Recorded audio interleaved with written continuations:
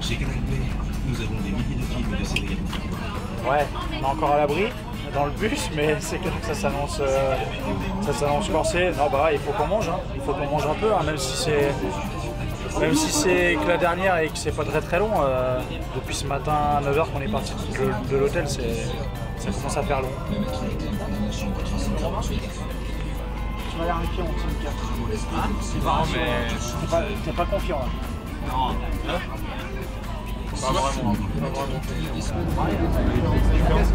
C'est mes deux garçons.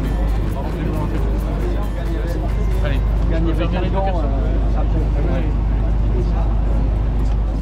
Bon, la momie, elle est où Il est Ah. là. Ça va? J'étais dans mes quartiers derrière. Ça va, Jean-Christophe Ouais, très bien.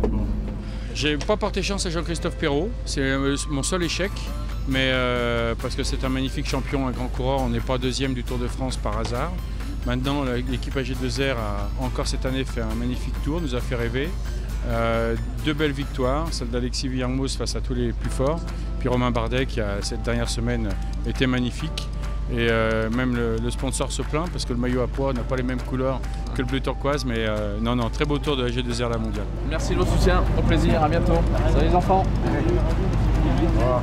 Bah, le bilan est, est très très bon, très très bon. Euh, on, est- on aurait signé dès le départ hein, avec un, un bilan comme ça. Quand on arrive sur un Tour de France, on est toujours euh, plein d'espoir bien sûr, mais quelque part anxieux parce qu'on ne sait pas ce qui va se passer. Dans l'histoire du Tour de France, on ne sait jamais ce qui va se passer et cette histoire était belle en 2015.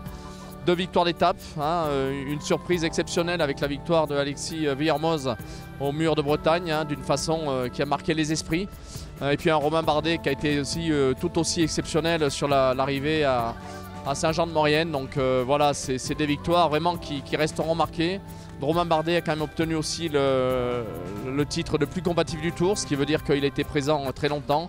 Et puis des quatrièmes places, euh, une équipe qui a bougé, qui ne s'est jamais démobilisée, malgré les petites avatars du début du tour. Voilà, donc euh, je crois que le bilan est vraiment très très bon. S'il y a une note à donner, je dirais au moins 16 sur 20. Une belle ovation, bravo à lui,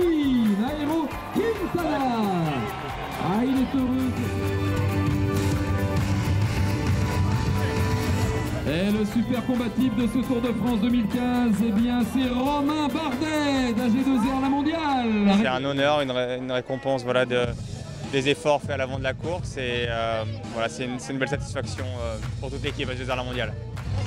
C'était difficile de faire mieux que l'an passé pour toute l'équipe, mais je pense qu'on a quand même, euh, on, sort vraiment la tête de ce Tour de France avec deux victoires d'étape, plusieurs podiums et c'est vraiment voilà, un, un grand bonheur de- de- de- pour moi de remonter sur le podium individuel sur les Champs-Élysées.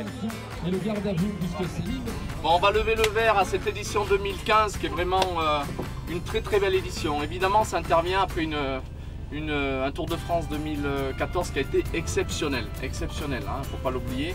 Et ce- cette édition 2015 est quand même euh, pas exceptionnelle, mais très très bonne. Moi, si j'ai une note à donner, je vous donne un 16 sur 20. Merci. Merci. Merci.